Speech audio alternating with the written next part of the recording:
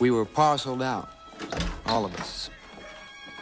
I truly believe that if ever a state agency destroyed a family, it destroyed ours. I was sent to a detention home and lived at this woman's house. Your room, Malcolm, and I know you'll keep it clean. Miss Swerlin. Boys, this is Malcolm, our new guest. We'll treat him like a brother. Father's reading the newspaper. I was special. What they're reading. The only colored kid in the class. Current events. I became sort of a mascot, like a the books that we're like a pink reading. poodle. In fact, I got called a nigger so much I didn't think there was anything wrong with it. I thought it was my name. He's a fine They talked about me like I wasn't there, like I was some kind of pedigreed dog or horse, president of his class. like I was invisible. Now, the important thing is to be realistic. We all like you here, you know that. But you're a nigger, and a lawyer is no realistic goal for a nigger.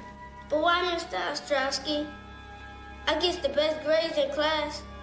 I got voted class president. I want to be a lawyer. No, I want you to think about something that you can be. You're good with your hands, making things. People would give you work. I would myself.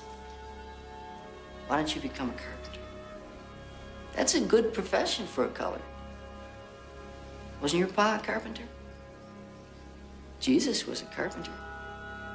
If people like you as a person, you're doing real well. Remember what we said. Nothing succeeds like success. Let me hear it. Nothing succeeds like success. Right. As long as you're realistic.